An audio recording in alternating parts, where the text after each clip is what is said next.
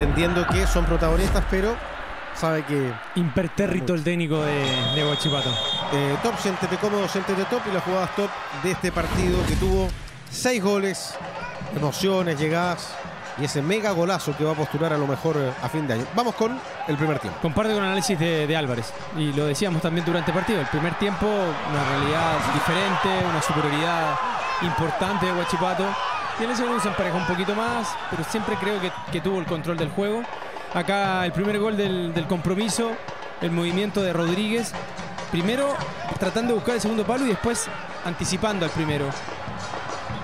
El balón que nos muestra la imagen que termina ingresando 100%, a pesar del esfuerzo de Carabalí, que tuvo un par de intervenciones muy buenas. Si no, la diferencia pudo ser mayor. Y esto hacía nada más que validar la superioridad que había en el juego, la supremacía.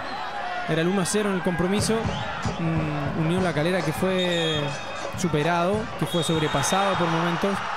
Y que tenía Huachipato esta alegría de, con suspenso del primer, del primer gol.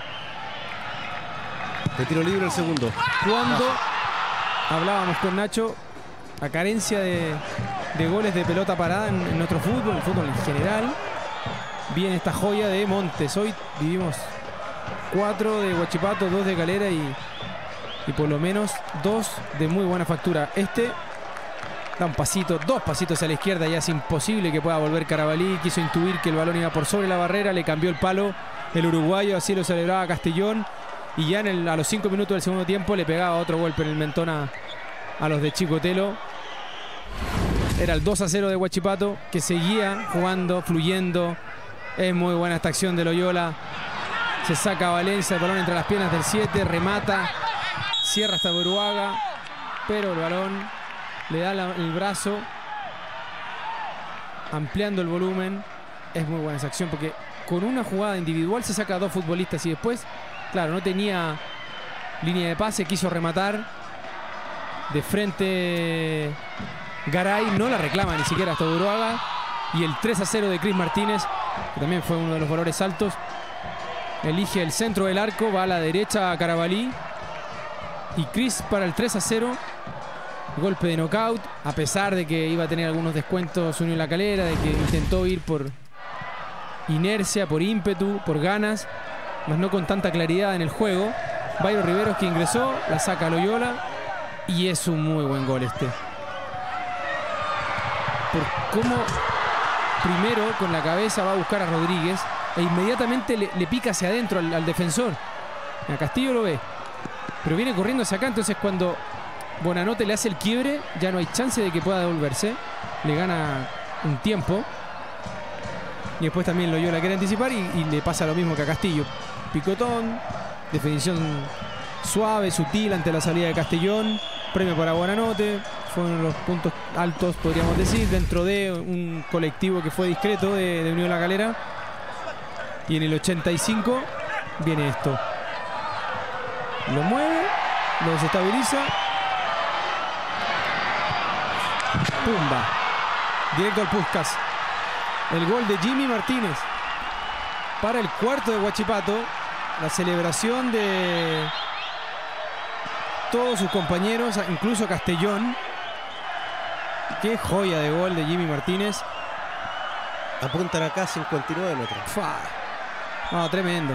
Y, es verdad lo que dice Álvarez, e- estas cosas no se entrenan.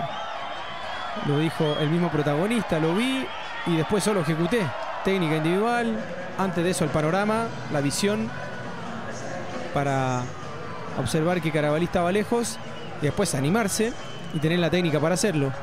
Todo en conjunto llegan a, esta jugada hermosa en el cuarto gol de Huachipato que ya le ponía el sello.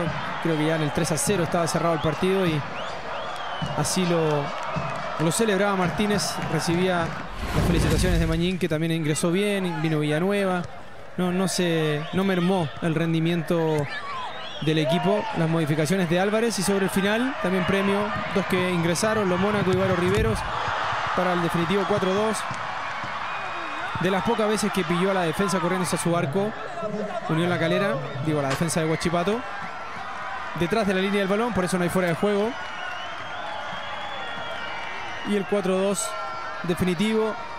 Muy buen partido de- del visitante. Nuevamente le mete presión a Cobresal que jugará mañana ante Curicó Unido. Que está peleando obviamente por zafar de abajo, es el colista.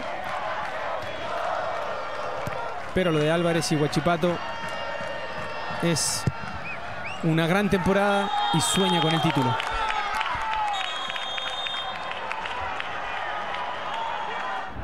Top, siéntete cómodo, siéntete top. Presentó todas las jugadas top de este partido.